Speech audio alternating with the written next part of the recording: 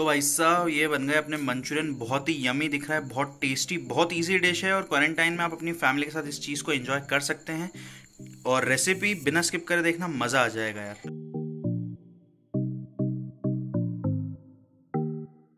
तो भैया, सबसे पहले मंचूरियन बॉल्स बनाने के लिए चाहिए अपने को दो कद्दूकस करी हुई पत्ता गोभी कॉर्नफ्लावर मैदा, नमक, अपना हो गया घर का गरम मसाला, मिर्ची और जिंजर गार्लिक पेस्ट और हो गया कांदा, भैया मतलब प्याज, टमाटर और हरी मिर्च। पहले भैया अपनी पत्ता गोभी में डालेंगे थोड़ा सा कॉर्नफ्लावर अगर कॉर्नफ्लावर नहीं समझ रहे हो तो आरा रोट डाल दो। अब डालेंगे भैया इसमें थोड़ा सा मैदा मतलब कॉर्नफ्लावर और मैदा दोनों डालेंगे।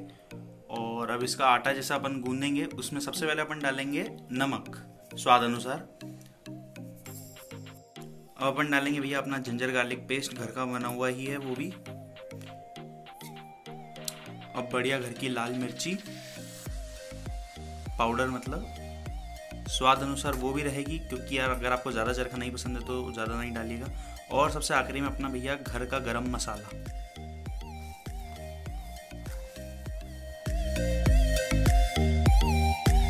तो भैया इसको अच्छे से गूंदने के बाद अब अपने को इसकी बॉल्स बनानी है, जैसे आप देख सकते हैं यहाँ पे, ऐसी बॉल्स बनानी है कुछ।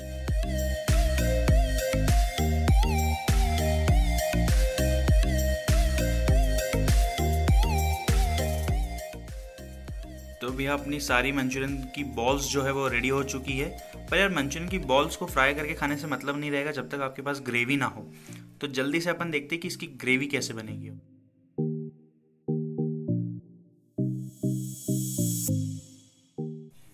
तो भैया अब अपने को अपनी मंचूरियन बॉल्स जो है उनको डालना है तेल में फ्राई होने के लिए।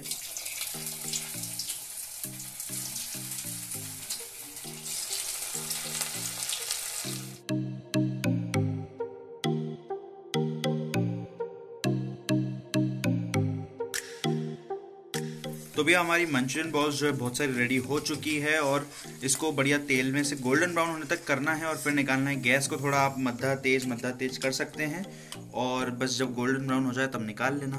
तो भैया बॉल्स बनने के बाद अब ग्रेवी बनानी तो ग्रेवी कैसे बनाना है? अपने को कढ़ाई में तेल लेना है और तेल में डालना है बारीक कटा हुआ अपना हो गया लहसुन। अब लहसुन डालने के बाद अपने को डालना है इसमें बारीक कटी हुई हरी मिर्ची और इसको अच्छा बढ़िया तीस सेकेंड तक होने देना है। और फिर उसमें अपने को डालना है भैया अपने प्याज। तो प्याज भी अपन इसमें जल्दी से ऐड कर देते हैं। प्याज ऐड करने के बाद इसको आप बढ़िया से कर लो मिक्स मतलब इसको भून लो। और प्याज का कलर थोड़ा मतलब पिंकिश होने तक इसको अच्छे से भूनना है अपने को। तो भैया अपना ये जो प्याज है, ये हो गया एकदम पिंकिश अब इसमें अपन डालेंगे स्वाद अनुसार नमक। नमक और काली मिर्ची दोनों डालेंगे तो ये हो गया स्वाद अनुसार नमक। और काली मिर्ची पाउडर अपन ने पहले से कर रखा है तो काली मिर्ची पाउडर भी इसमें डल जाएगा। वो भी स्वाद अनुसार डाल के अपन इसको अच्छे से कर लेते हैं मिक्स अब भैया, इसमें अपने को डालना है इसका की इंग्रेडिएंट बोल सकता हूँ मैं सोया सॉस जो बोलते हैं अपन, ताकि इसमें इसका थोड़ा कलर आए। एक से दो चम्मच बहुत होगा सोया सॉस क्योंकि वो कलर ज़्यादा आ जाए नहीं तो। अब आता है भैया, बारी अपनी रेड चिली सॉस की। ये भी अपने को डालना है एक हाथ चम्मच के आसपास ही।